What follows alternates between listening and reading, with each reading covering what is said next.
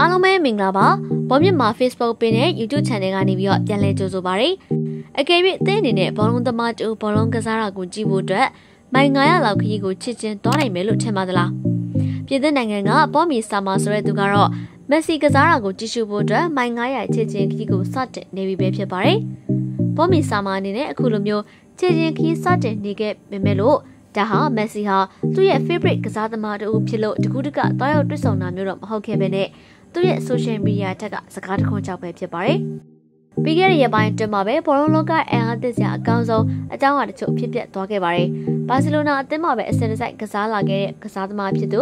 မက်ဆီဟာဆိုရင်ဘာစီလိုနာကိုစွန့်ခွာသွားပြီးပြင်သစ်ကလပ် PSG အသင်းကိုပြောင်းရွှေ့ရောက်ရှိသွားပြီဖြစ်ပါတယ်။ဒီဖြစ်ရတဲ့ဖြစ်လာခင်ကဘသူကမှမက်ဆီ PSG အသင်းမှာကစားနေမယ်လို့ထင်မှတ်မထားခဲ့ကြတာဖြစ်ပါတယ်။မက်ဆီ PSG ကိုရောက်မယ်လို့ထင်မှတ်မထားတဲ့သူတွေထဲမှာ YouTuber တူဖြစ်တဲ့ဘောမီဆာမာလည်းပါဝင်ခဲ့ပါတယ်။ဘောမီဆာမာဟာ Instagram မှာ အကယ်၍မက်ဆီသာ PSG ကိုပြောင်းကစားမယ်ဆိုရင်သူဘောလုံးကစားတာကိုကြည့်ဖို့အတွက်မာဆီကနေပဲရစ်အထိကိုကျွန်တော်ဘောလုံးကန်ရင်နဲ့ချစ်ချင်းသွားပြမယ်လို့ status တင်ထားခဲ့တာဖြစ်ပါတယ်။အခုတော့မက်ဆီက PSG အသင်းကိုရောက်ရှိသွားပြီဖြစ်တာကြောင့်ဘောမီဆာမာတယောက်မာဆီကနေပဲရစ်ခီကိုလမ်းလျှောက်ရဖို့ရှိတာခဲ့ပါပြီ။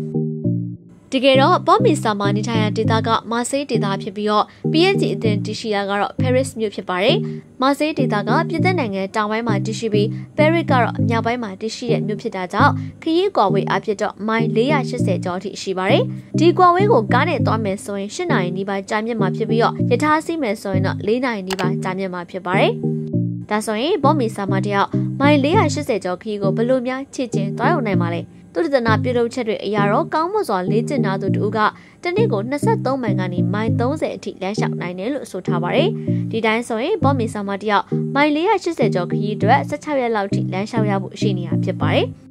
အခုအချိန်မှာတော့မက်ဆီက PSG အသင်းကိုအမှန်တကယ်ရောက်ရှိလာခဲ့ပြီးဘောမီဆာမာကလည်းသူ့ရဲ့ကတိအတိုင်းမက်ဆီနဲ့တွေ့ဖို့အတွက်ခြေချင်းခရီးထွက်လာခဲ့ပြီးဖြစ်ပါတယ်။ဘောမီဆာမာကဘောလုံးတစ်လုံးနဲ့အတူမက်ဆီနဲ့တွေ့ဆုံရေးခြေချင်းခရီးစဉ်ကိုစတင်နေခဲ့ပုံကိုလူမှုကွန်ရက်မှာတင်ရှိထားပြီးတော့လက်ခရီးတစ်လျှောက်ဖြတ်တန်းရောက်ရှိရာဒေသတွေကိုလည်းမှတ်တမ်းတင်ထားမယ်လို့သိရပါတယ်။ဘောမီဆာမာကတော့သူ့ရဲ့စကားအတိုင်းပဲမက်ဆီနဲ့တွေ့ဖို့အတွက်ခြေချင်းခရီးထွက်လာခဲ့ပြီးဖြစ်ပါတယ်။ ဘယ်အချိန်မှာပဲရစ်မြို့ကိုစစ်စစ်မမြတ်ရောက်ရှိပြီးတော့မက်ဆီကစားတာကိုကြည့်ရှုနိုင်မလဲဆိုတော့မကြခင်ပဲသိရှိရတော့မှာဖြစ်ပါတယ်။သူရဲ့ကတိအတိုင်းပဲတနေ့တလန်ပဲရစ်ဘယ်ရွေ့မလဲဆိုပြီးတော့အခြေတက်လာတဲ့ဘောမီဆာမာကိုတော့ဒီဗီဒီယိုလေးနဲ့ပဲဂုဏ်ပြုလိုက်ပါတယ်ရှင်။